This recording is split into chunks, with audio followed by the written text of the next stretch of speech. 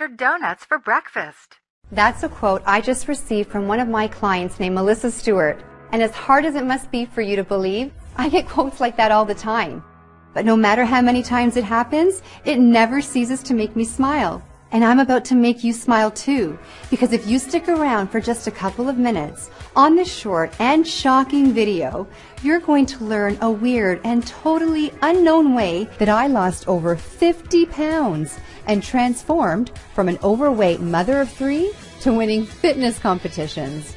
And you'll do it without ab crunches, without counting calories, without diet restrictions, without gastric bypass surgery and without any extreme cardio routines, such as CrossFit, P90X, or Insanity.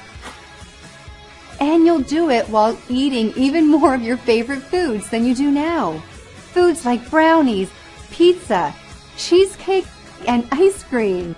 In fact, eating these foods is mandatory. I don't expect you to believe any of it. I just ask that you give me a chance to explain. And if you're ready to get to the real truth about weight loss, you're in exactly the right place. Hi, I'm Chrissy Mitchell. I'm not a doctor. I'm not a nutritionist. I'm not a guest lecturer at Yale University. But you know what I am? I'm you. I'm a real woman, not an actor. I'm 43 years old. I've had three babies, each of which added about 20 pounds. And because of that, I know exactly what you're going through.